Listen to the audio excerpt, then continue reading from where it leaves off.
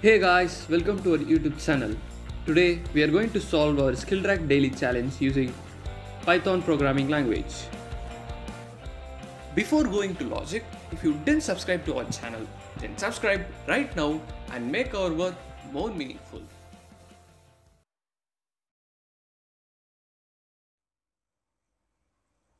First, we'll understand our question.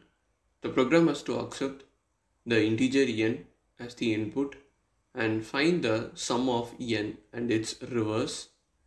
And if the sum is palindrome, then the program must print its sum, else print the next largest palindromic integer of its sum. So now we'll take our first case.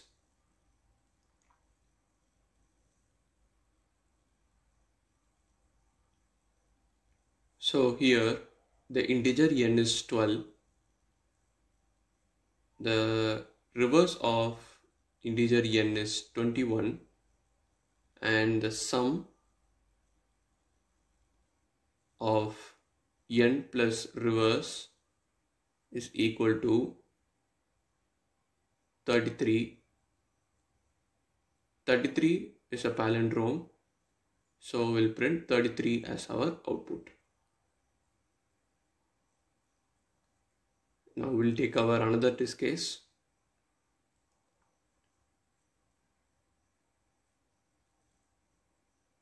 So here the integer n is 8 and the reverse of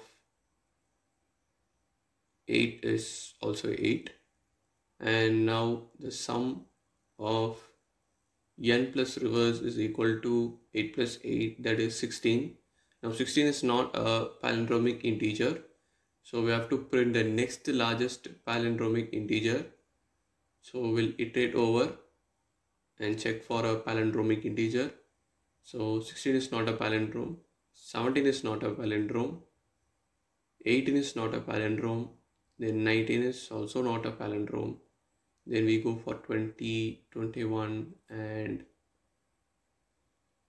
22 so now 22 is a palindrome so we'll stop the loop here and print 22 as our output.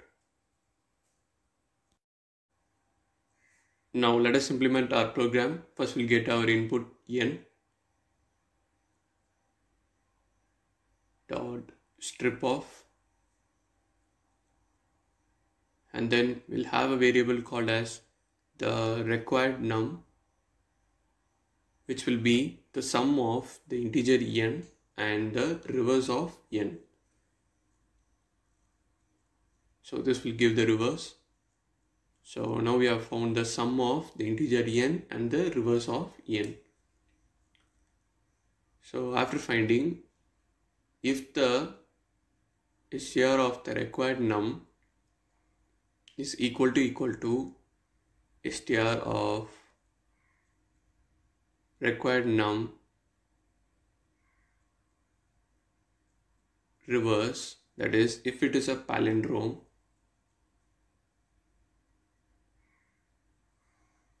so if the reverse is equal then we have to print the required num. In the else part we are going to find the next palindromic integer. So the required num will be incremented by 1 and then while true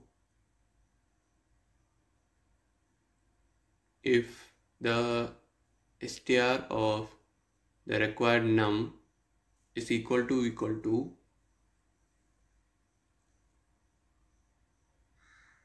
that is the same condition we are going to check whether it is a palindrome.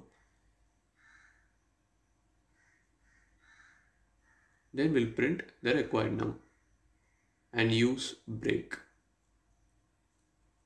so after this again the required num will be incremented by 1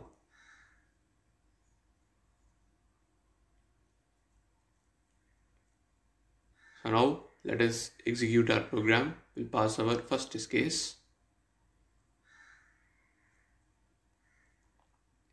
So yes we have got the correct output. Now we'll pass our another test case Here also we have got the correct output. Our program has passed all our given test cases successfully.